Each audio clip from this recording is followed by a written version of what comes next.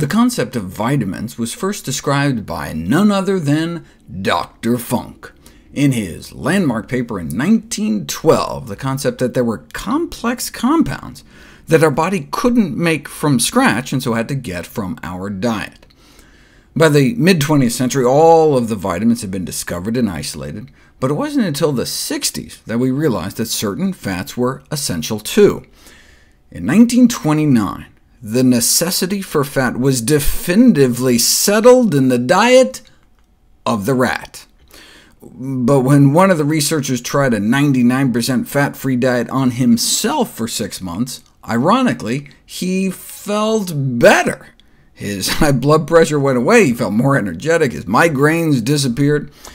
This one-man experiment fortified the medical profession's doubt that essential fatty acids had any relevance to human nutrition, until TPN was developed in the 1960s, total parenteral nutrition, meaning uh, feeding someone exclusively through an IV, initially developed for babies born without working intestines. But the first preparations were fat-free, because we didn't think humans needed fat. And so they rapidly induced severe essential fatty acid deficiencies, ultimately convincing the medical community that some fats are indeed essential. They started out using safflower oil, but as they discovered in a young girl they were giving it to after an, an abdominal gunshot wound, we don't just need fat, but specific fats like omega-3s, and so when they switched to soybean oil, instead uh, she was restored to normal. The fact that it took so long and under such extreme circumstances to demonstrate the essential nature of omega-3s illustrates how hard it is to develop overt omega-3 deficiency. Uh, of course, the amount required to avoid deficiency is not necessarily the optimal amount for health. A, spoonful of orange juice worth of vitamin C would be enough to avoid scurvy, the overt vitamin C deficiency disease but no one considers that enough vitamin C for optimal health. What would optimal omega-3 status look like? Well, doubt has been cast on their role in heart health, which appears to be based on a faulty premise in the first place, and so taking extra omega-3s for our heart might not make any sense, but what about for our baby's brain?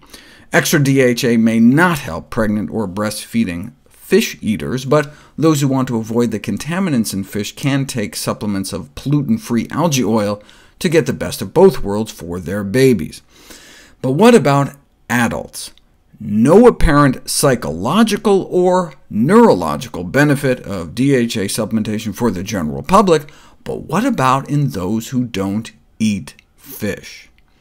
Take the famous alpha-omega trial thousands of people randomized for over three years to get either long-chain omega-3s from fish, short-chain omega-3s from plants, or placebo, and they found no significant benefits for any kind of omega-3 supplementation on global cognitive decline, but most were eating fish, already getting preformed DHA in their diet, and so general population studies like this that found no benefit can't fully inform us about the role of DHA in brain health any more than giving half of these people oranges, finding no difference in scurvy rates, zero in both groups, and concluding that vitamin C plays no role in scurvy. In, in 2013, for the first time, DHA supplementation was found to improve memory and reaction time among young adults who rarely ate fish previous randomized controlled trials failed to find such a benefit among like 18 to 45-year-olds, but they all only lasted a few months at most, whereas the 2013 study lasted six months. So if all the studies either showed no effect or a positive effect, one might give it a try. But in one of those shorter trials, DHA supplementation didn't just fail to show benefit, it appeared to make things worse. After 50 days, those who consumed the DHA had worse memory than those taking the placebo. So out of the six randomized controlled trials, four showed nothing, one showed a benefit, one showed a harm. So if it was just about boosting brain function in the short term, I'd err on the side of caution and spend my money elsewhere. But what about preserving brain function over the long run? I'll address that next.